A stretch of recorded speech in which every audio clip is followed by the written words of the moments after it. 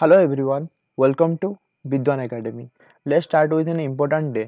ଆଜି ହେଉଛି ପାଞ୍ଚ November world tsunami awareness day ଏହାର ଏମ୍ ହେଉଛି କ'ଣ ସେଣ୍ଡାଇ ସେଭେନ୍ କ୍ୟାମ୍ପେନ୍କୁ ପ୍ରୋତ୍ସାହିତ କରିବା ଏବଂ ସ୍ଥାୟୀ ସମର୍ଥନ ମାଧ୍ୟମରେ ବିକାଶଶୀଳ ଦେଶଗୁଡ଼ିକରେ ଆନ୍ତର୍ଜାତୀୟ ସହଯୋଗକୁ ଯଥେଷ୍ଟ ବୃଦ୍ଧି କରିବା ଏବେ ଆସନ୍ତୁ ଦେଖିବା ଦେଶ ବିଦେଶର ଦଶଟି ବଡ଼ ଖବର ନମ୍ବର ୱାନ୍ ଗୁଜରାଟର କଚ୍ଛରେ ଭୟଙ୍କର ଭୂମିକମ୍ପ ଝଟକା ଗୁଜରାଟର କଚ୍ଛରେ ଭୂମିକମ୍ପ ଝଟକା ରିକ୍ଟର ସ୍କେଲରେ ତୀବ୍ରତା ପାଞ୍ଚ ଦଶମିକ ଶୂନ ରହି ବୋଲି ଜଣାପଡ଼ିଛି। ଦ୍ୱାରକାରୁ ଦୁଇଶହ ତେଇଶ କିଲୋମିଟର ଉତ୍ତର ପୂର୍ବରେ ଭୂମିକମ୍ପ ଝଟକା ଦେଖିବାକୁ ମିଳିଛି। ଗୁରୁବାର ଅପରାହ୍ନ ତିନି ଦଶମିକ ଏକ ପାଞ୍ଚ ସମୟରେ ଭୂମିକମ୍ପ ହୋଇଥିବା ନେଇ ସେସ୍ମୋଲୋଜି ବିଭାଗ ପକ୍ଷରୁ ସୂଚନା ଦିଆଯାଇଛି। ତେବେ ବର୍ତ୍ତମାନ ସୁଦ୍ଧା କ୍ଷୟକ୍ଷତିର କୌଣସି ରିପୋର୍ଟ ନଥିବା ବେଳେ ଅନେକ ସ୍ଥାନରେ ଘରଗୁଡ଼ିକ କ୍ଷତିଗ୍ରସ୍ତ ହୋଇଥିବା ପ୍ରାଥମିକ ଭାବେ ଜଣାପଡ଼ିଛି। ନମ୍ବର ଟୁ ପେଟ୍ରୋଲ ଏବଂ ଡିଜେଲ ଦାମ କମିବା ଯୋଗୁଁ କେନ୍ଦ୍ର ସରକାର ସହିବେ ପଇଁଚାଳିଶ ହଜାର କୋଟି ଟଙ୍କାର ଅତିରିକ୍ତ ବୋଝ। ଡିଜେଲ ଏବଂ ପେଟ୍ରୋଲ ଉପରେ ଉତ୍ପାଦ ଶୁଳ୍କ କମିଯିବା ପରେ ରାଜକୋଷ ଉପରେ ପ୍ରାୟ ପଇଁଚାଳିଶ ହଜାର କୋଟି ଟଙ୍କାର ବୋଝ ପଡ଼ିବ। ଏହା ହେଲେ କେନ୍ଦ୍ର ସରକାରଙ୍କ ରାଜକୋଷ ଘାଟା ଜିରୋ ଦଶମିକ ଥ୍ରୀ ପ୍ରତିଶତ ବୃଦ୍ଧି ପାଇବ। ବୁଧବାର କେନ୍ଦ୍ର ସରକାର ପେଟ୍ରୋଲ ଏବଂ ଡିଜେଲ ଉପରୁ ଭ୍ୟାଟ୍ କମାଇବା ପରେ ଏଭଳି ଆକଳନ କରାଯାଇଛି। ଏକ ରିପୋର୍ଟ ଅନୁଯାୟୀ ପେଟ୍ରୋଲ ଏବଂ ଡିଜେଲ ଦାମ କମାଇବା ଫଳରେ ଗୋଟିଏ ଆର୍ଥିକ ବର୍ଷରେ କେନ୍ଦ୍ରୀୟ ରାଜକୋଷ ଉପରେ ପ୍ରାୟ ଏକ ଲକ୍ଷ କୋଟି ଟଙ୍କାର ବୋଝ ପଡ଼ିବ। ନମ୍ବର ଥ୍ରୀ ବେଆଇନ ଘେରି ଉଚ୍ଛେଦ ନିମନ୍ତେ ଟାସ୍କ ଫୋର୍ସ ବୈଠକ ଅନୁଷ୍ଠିତ। ଉଚ୍ଛେଦ ପ୍ରକ୍ରିୟା ତ୍ୱରାନ୍ୱିତ ନେଇ ଆଲୋଚନା। ଚିଲିକାରେ ବେଆଇନ ଘେରି ଉଚ୍ଛେଦ ନିମନ୍ତେ ଟାସ୍କ ଫୋର୍ସ ବୈଠକ ରାଜସ୍ୱ ଅତିରିକ୍ତ ଜିଲ୍ଲାପାଳ ଶ୍ରୀ ସୁଭାଷ ଚନ୍ଦ୍ରନାଥ ଶର୍ମାଙ୍କ ଅଧ୍ୟକ୍ଷତାରେ ଅନୁଷ୍ଠିତ ହୋଇଛି। ଉକ୍ତ ବୈଠକ ଉପ ଜିଲ୍ଲାପାଳଙ୍କ କାର୍ଯ୍ୟକାଳ କାର୍ଯ୍ୟାଳୟ ସମ୍ମିଳନୀ କକ୍ଷରେ ଅନୁଷ୍ଠିତ ହୋଇଛି। ହାଇକୋର୍ଟଙ୍କ ନିର୍ଦ୍ଦେଶ ଅନୁଯାୟୀ ବେଆଇନ ଘେରି ଉଚ୍ଛେଦ ପ୍ରକ୍ରିୟାକୁ ତ୍ୱରାନ୍ୱିତ କରିବା ନିମନ୍ତେ ବୈଠକରେ ଆଲୋଚନା ହୋଇଛି। ବାରମ୍ବାର ଉଚ୍ଛେଦ ସତ୍ତ୍ୱେ ପ୍ରଶାସନ ସହ ସହଯୋଗ କରୁନଥିବା ବ୍ୟକ୍ତିଙ୍କ ବିରୁଦ୍ଧରେ କଡ଼ା କାର୍ଯ୍ୟାନୁଷ୍ଠାନ ଗ୍ରହଣ କରାଯିବ। ନମ୍ବର ଫୋର୍ କେନ୍ଦ୍ର ସରକାରଙ୍କୁ ପ୍ରିୟଙ୍କା ଗାନ୍ଧୀଙ୍କ ଟାର୍ଗେଟ ହୃଦୟରୁ ନୁହେଁ ବରଂ ଭୟରେ ପେଟ୍ରୋଲ ଦର କମାଇଛନ୍ତି। କେନ୍ଦ୍ର ସରକାର ପେଟ୍ରୋଲ ଏବଂ ଡିଜେଲ ଉପରେ ଉତ୍ପାଦ ଶୁଳ୍କ କମାଇବା ପରେ ରାଜନୀତି ଜୋର ଧରିଛି। କଂଗ୍ରେସର ନେତ୍ରୀ ପ୍ରିୟଙ୍କା ଗାନ୍ଧୀ କେନ୍ଦ୍ର ସରକାରଙ୍କୁ ଟାର୍ଗେଟ କରି କହିଛନ୍ତି ଯେ ଏହି ନିଷ୍ପତ୍ତି ସରକାରଙ୍କ ହୃଦୟରୁ ନୁହେଁ ବରଂ ଡରରେ ନିଆଯାଇଛି। ଆଗାମୀ ଦିନରେ ହେବାକୁ ଥିବା ନିର୍ବାଚନରେ ଜନତା ଏହାର ଦୃଢ଼ ଜବାବ ଦେବେ।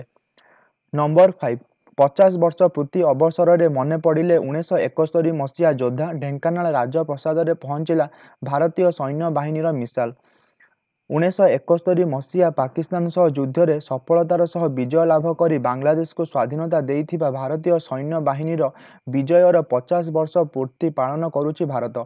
ତେବେ ଏହି ଯୁଦ୍ଧରେ ସାମିଲ ହୋଇଥିବା ବୀର ସୈନ୍ୟମାନଙ୍କୁ ମନେ ପକାଇ ସ୍ୱତନ୍ତ୍ର ବିଜୟ ମଶାଲ ସେମାନଙ୍କ ପାଖରେ ପହଞ୍ଚି ଭାରତର ଏହି ବୀର ଯୋଦ୍ଧାମାନଙ୍କୁ ସମ୍ବର୍ଦ୍ଧିତ କରାଯାଇଛି। ଉଣେଇଶହ ଏକସ୍ତରୀ ମସିହା ଯୁଦ୍ଧରେ ସାମିଲ ହୋଇଥିବା ଭାରତୀୟ ସୈନ୍ୟବାହିନୀର ପୂର୍ବତନ ବ୍ରିଗେଡିୟର ତଥା ପୂର୍ବତନ କେନ୍ଦ୍ରମନ୍ତ୍ରୀ କାମାକ୍ଷା ପ୍ରସାଦ ସିଂଦେଓ ଓ ତାଙ୍କ ସାନ ଭାଇ ଭାରତୀୟ ଆକାଶ ବାହିନୀର ୱିଙ୍ଗ କମାଣ୍ଡର ବିରଜା ଶଙ୍କରଙ୍କୁ ଭାରତୀୟ ପ୍ରତିରକ୍ଷା ବିଭାଗ ପକ୍ଷରୁ ସମ୍ବର୍ଦ୍ଧିତ କରାଯାଇଛି। ନମ୍ବର ସିକ୍ସ ଯବାନଙ୍କ ପାଇଁ ଶାନ୍ତିରେ ଶୋଇପାରୁଛି ଦେଶ। ସୈନିକଙ୍କ ସହ ଦୀପାବଳି ପାଳିଲେ ନରେନ୍ଦ୍ର ମୋଦି। ଯବାନଙ୍କ ସହ ଦୀପାବଳି ପାଳନ କରିଛନ୍ତି ପ୍ରଧାନମନ୍ତ୍ରୀ ନରେନ୍ଦ୍ର ମୋଦି। ମୋଦି ଗୁରୁବାର ରଜୌରୀ ଜିଲ୍ଲାର ନୌସେରାରେ ପହଞ୍ଚିଥିଲେ। ସେଠାରେ ପ୍ରଥମେ ଶହୀଦଙ୍କୁ ଶ୍ରଦ୍ଧାଞ୍ଜଳି ଦେଇଥିଲେ। ଏହାପରେ ଦୀପାବଳି ପାଳନ କରିଥିଲେ। ଏହା ସହ ବୀର ଯବାନମାନଙ୍କୁ ସମ୍ବୋଧିତ କରି ମୋଦି କହିଥିଲେ ଯେ ଯବାନମାନେ ତାଙ୍କ ପରିବାର ପ୍ରଥମେ ଗୁଜରାଟର ମୁଖ୍ୟମନ୍ତ୍ରୀ ଥିଲାବେଳେ ଓ ଏବେ ପ୍ରଧାନମନ୍ତ୍ରୀ ଥିବାବେଳେ ସେ ଯବାନଙ୍କୁ ସେ ଯବାନଙ୍କ ସହ ଉତ୍ସାହ ମନାଉଛନ୍ତି। ଦେଶର ବୀରମାନେ ସୀମାରେ ପହରା ଦେଉଛନ୍ତି ତେଣୁ ସାରା ଦେଶ ଶାନ୍ତିରେ ଶୋଇପାରୁଛି। ଯବାନମାନେ ଦେଶର ସୁରକ୍ଷା କବଚ ସେମାନଙ୍କ ପାଇଁ ଦେଶରେ ଶାନ୍ତି ଓ ସୁରକ୍ଷା ଅକ୍ଷୁଣ୍ଣ ରହିଛି। ନମ୍ବର ସେଭେନ କଙ୍ଗନା ରାଣାୱତ କରଣ ଜୋହର ଏବଂ ଏକତା କପୁରଙ୍କୁ ମିଳିବ ପଦ୍ମଶ୍ରୀ ପୁରସ୍କାର। ମନୋରଞ୍ଜନ ଶିଳ୍ପରେ ଶ୍ରେଷ୍ଠ ପ୍ରଦର୍ଶନ ପାଇଁ ବଲିଉଡ ଅଭିନେତ୍ରୀ କଙ୍ଗନା ରାଣାୱତ ଫିଲ୍ମ ନିର୍ମାତା ଏକତା କପୁର ଏବଂ କରଣ ଜୋହରଙ୍କୁ ଦେଶର ଚତୁର୍ଥ ସର୍ବୋଚ୍ଚ ନାଗରିକ ସମ୍ମାନ ପଦ୍ମଶ୍ରୀ ସମ୍ମାନରେ ସମ୍ମାନିତ କରାଯିବ। ଗତବର୍ଷ ତାଙ୍କ ନାମ ଘୋଷଣା କରାଯାଇଥିଲା। ନଭେମ୍ବର ଆଠରେ ଏହି ସମାରୋହ ନୂଆଦିଲ୍ଲୀରେ ଅନୁଷ୍ଠିତ ହେବାକୁ ଯାଉଛି। ଦେଶର ପ୍ରଥମ ସର୍ବୋଚ୍ଚ ନାଗରିକ ସମ୍ମାନ ହେଉଛି ଭାରତ ରତ୍ନ ସେକେଣ୍ଡ ହାଇଏଷ୍ଟ ହେଉଛି ପଦ୍ମ ବିଭୂଷଣ ଆଉ ଥାର୍ଡ ହାଇଏଷ୍ଟ ହେଉଛି ପଦ୍ମଭୂଷଣ ଫୋର୍ଥ ହାଇଏଷ୍ଟ ହେଉଛି Padma Shri. Next number eight corona ପାଇଁ ଆଉ ଏକ ଅସ୍ତ୍ର। ପ୍ରଥମ କୋଭିଡ ବଟିକାକୁ ମିଳିଲା ଅନୁମତି। କରୋନା ପାଇଁ ମିଳିଗଲା ଆଉ ଏକ ଅସ୍ତ୍ର। ପ୍ରଥମ କୋଭିଡ ବଟିକାକୁ ମିଳିଲା ଅନୁମତି। ମର୍କ କମ୍ପାନୀ ଦ୍ୱାରା ପ୍ରସ୍ତୁତ ବଟିକାକୁ ବ୍ରିଟେନ ସରକାର ଜରୁରୀକାଳୀନ ମଞ୍ଜୁରୀ ଦେଇଛନ୍ତି। ବ୍ରିଟେନ ପ୍ରଥମ ଦେଶ ଭାବେ ଏହି ବଟିକାକୁ କୋଭିଡର ଉପଚାର ବୋଲି ମନେ କରିଛି।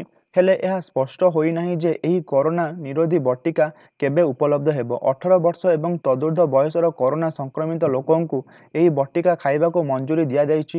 ଏହି ବଟିକାର ନାମ ମଲ୍ନୁ ପିରାଭିର ରଖାଯାଇଛି। Next number nine. ଓଡ଼ିଶାରେ ହେବ ଭବ୍ୟ medical college. King's college London Japanese Japanese ଗ୍ରୁପ ସହଭାଗିତାରେ ଓଡ଼ିଶାରେ ସ୍ଥାପନ ହେବ ଏକ ମେଡିକାଲ କଲେଜ। ଓଡ଼ିଶାର ବାଲୁଗାଁରେ ହେବ ଏହି ମେଡିକାଲ କଲେଜ। ସ୍ଥାନୀୟ ଶ୍ରୀ ଏଜୁକେସନ ଚାରିଟେବୁଲ ଟ୍ରଷ୍ଟ ସହ ମିଶି ଏହି ଦୁଇଶହ ବିଲିୟନ ଡଲାରର ବଡ଼ ପ୍ରୋଜେକ୍ଟ ଆରମ୍ଭ ହେବ। ଗ୍ରୁପ ସ୍ଥାନ ପରିଦର୍ଶନ କରିବା ସହ ଆଗାମୀ ପ୍ରସ୍ତୁତିର ତଦାରଖ କରିଛନ୍ତି। ଓଡ଼ିଶା ପାଇଁ ଏହା ଏକ ବହୁତ ବଡ଼ ପ୍ରୋଜେକ୍ଟ ହେବାକୁ ଯାଉଛି। ମେଡିକାଲ ସୁବିଧାର ଏହା ବହୁତ ବଡ଼ କ୍ରାନ୍ତିକାରୀ ପଦକ୍ଷେପ ହେବ। ନମ୍ବର ଟେନ୍ ଟି ଟ୍ୱେଣ୍ଟି ବିଶ୍ୱକପ୍ ବାଂଲାଦେଶ ବିପକ୍ଷରେ ଅଷ୍ଟ୍ରେଲିଆର ସହଜ ବିଜୟ ଆଠ ୱିକେଟରେ ଜିତିଲା କଙ୍ଗାରୁ ବାହିନୀ ଟି ଟ୍ୱେଣ୍ଟି ବିଶ୍ୱକପ୍ର ଗୁରୁବାରର ପ୍ରଥମ ମ୍ୟାଚ୍ରେ ସହଜ ବିଜୟ ହାସଲ କରିଛି ଅଷ୍ଟ୍ରେଲିଆ। ପ୍ରଥମେ ବ୍ୟାଟିଂ କରି ପନ୍ଦର ଓଭରରେ ସମସ୍ତ ୱିକେଟ୍ ହରାଇ ମାତ୍ର ତେସ୍ତରୀ ରନ୍ କରିବାକୁ ସକ୍ଷମ ହୋଇଥିଲା ବାଂଲାଦେଶ। ଜବାବରେ ମାତ୍ର ଛଅ ଦଶମିକ ଦୁଇ ଓଭର ଖେଳି ଦୁଇଟି ୱିକେଟ୍ ହରାଇ ଅଠସ୍ତରୀ ରନ୍ କରି ବିଜୟ ଲକ୍ଷ୍ୟ ହାସଲ କରିନେଇଛି ଅଷ୍ଟ୍ରେଲିଆ। ଏବେ ଆସନ୍ତୁ ଦେଖିବା କିଛି question question number one Indian council of medical research ଯାହାକୁ ଆଇସିଏମ୍ଆର୍ ବୋଲି କୁହାଯାଏ ସେଟା କେବେ ଫାଉଣ୍ଡ ହେଇଥିଲା? ଏନ୍ସର୍ ହେଉଛି ଉଣେଇଶହ ଏଗାରରେ। Question number two who is known as the grand old man of India grand old man of India କାହାକୁ କୁହାଯାଏ? ସେ ହେଉଛନ୍ତି Dadabhai Naoroji. Next question number three which is India's largest masonry dam ଇଣ୍ଡିଆର ସବୁଠୁ ବଡ଼ ମାସନାରୀ dam ହେଉଛି କେଉଁଟା? Answer ହେଉଛି ନାଗାର୍ଜୁନ ସାଗର ଡ୍ୟାମ୍ ଯେଉଁଟାକି କୃଷ୍ଣା ରିଭରରେ ସେଟା ଡ୍ୟାମ୍ଟା ଅଛି। ଆଉ କୃଷ୍ଣା ରିଭର ସେଟା rises from the western Ghat near Jor village of Satara district of Maharashtra. ଆଉ ସେଟା କେଉଁଠି? ଜଷ୍ଟ ମହାବଳେଶ୍ୱରରୁ ବାହାରିଛି। Next question number four the voting age has been reduced from twenty one to eighteen in which year ଆମର ଯେଉଁ vote ଦେବାର କ୍ଷମତା ଏକୋଇଶ ବର୍ଷରୁ ଅଠର ବର୍ଷକୁ ଯେଉଁଟା କରାଯାଇଥିଲା ସେଇଟା କେବେ ହେଇଥିଲା? ଏନ୍ସର୍ ହେଉଛି ଉଣେଇଶହ ଅଠାଅଶୀ ମସିହାରେ। Next question number 5 who was the first president of Indian National Congress Indian National কংগ্রেসର ପ୍ରଥମ ସଭାପତି କିଏ କରିଥିଲେ? ସେ ହେଉଛନ୍ତି Womesh Chunder Bonnerjee. Now question for you কি ইন্ডিয়ান ন্যাশনাল কংগ্রেস আমার কেবে প্রতিষ্ঠা হয়েছিল এবং এর প্রথম অধিবেশন কেউঠার হয়েছিল so comment below the answer thank you for watching hope you enjoy this video stay healthy and keep learning